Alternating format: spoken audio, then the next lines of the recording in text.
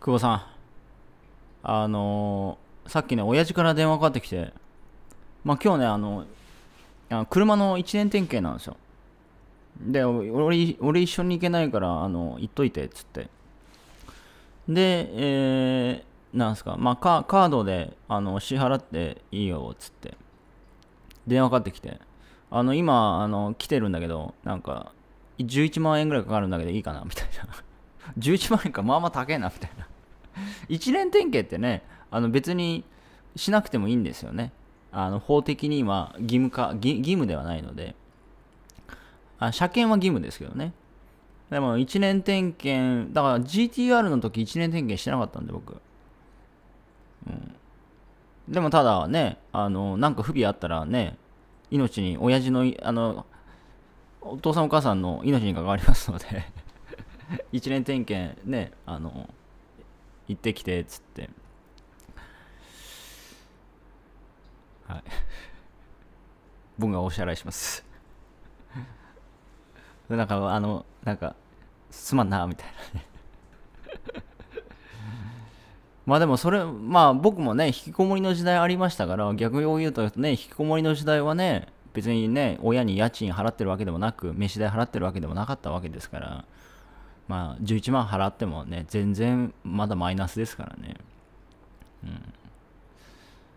でも、まあちょっとでもね、それをか借り、借りではないですけども、なんかそれをお返しできるっていうのは今ありがたいですよね。うん。まあこれからもあの稼いで、バンバン稼いで、うん、まあ親、あの、親父にプレゼントした車の整備費用、もろもろぐらいは頑張ります。まあでもね、あと親父も車乗れるのはあと何年ぐらいですからね。今な、今69か。まあ何歳まで車乗るのか分かんないですけど、な75を超えたらね、もうまた再試験みたいなのもあるっぽいですから、どうなんですかね。まあそこまで生きてるのかも分かんないし。うん、まああの、僕が唯一なんか本当に良かったなと思うのが、まあちょっとでも親孝行できたっていうね、あの死ぬ前に、まあ僕はやっぱね、生まれた時からやっぱ貧乏だったんで、ずっと家の車は軽自動車しか体験してなかったんで、だからその、ね、親父に言われたのが、BM なんか、外車なんか乗れると思わなかったよって言われたのは、まあ良かったなっていう。で、あと間に合ったっていうとこですよね。やっぱ親孝行したいと思った時に親い親いないないみたいな話ありますけど、うーん、まあ、ありがたいですね。うん、なんか生きてる間にできたっていうのは。うん、だからまあ逆に言うと、まあ、頑張ろうと思えるしね。うん。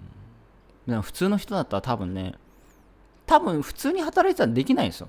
まず車もプレゼントできないし、車プレゼントした後のガソリン代とか高速代とか、免保険代、あと車検代、まあ、もう今回1年点検ですけど、全部の維持費用を全部負担するっていうのは、多分普通に働いてたら多分できないですね。